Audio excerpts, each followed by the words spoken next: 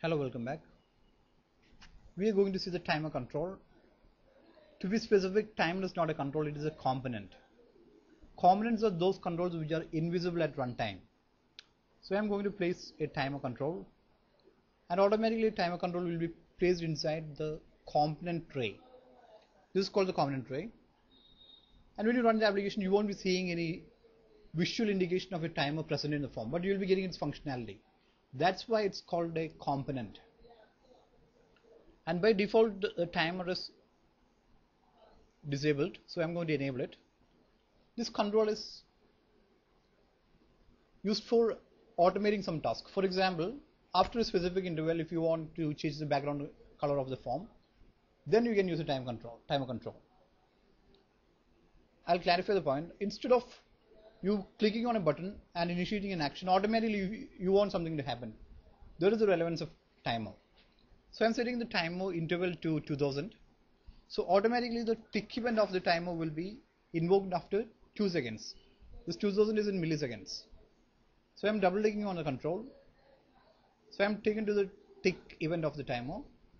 Here I'm saying this background is equal to, I'm going to change the background color of the form.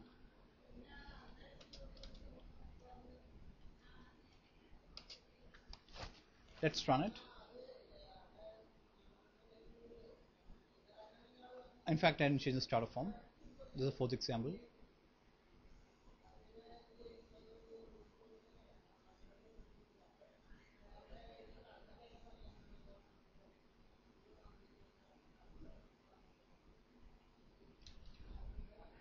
So after 2 seconds automatically the color of the form changes to red.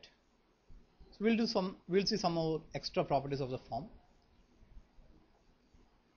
Again I'm going to the this is a property called window state. If I set it maximized then it will be occupying the whole screen. So this is also we are going to do after that specific time interval is over. So I'm making it back to normal. So when you run the application, it will be, it will be the normal size.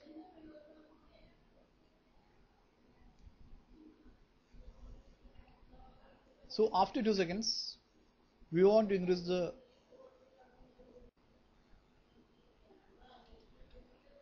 window state is equal to form window state enumerator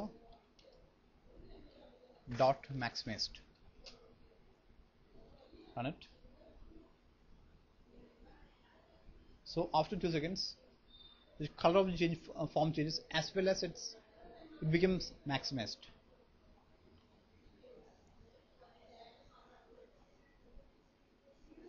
thank you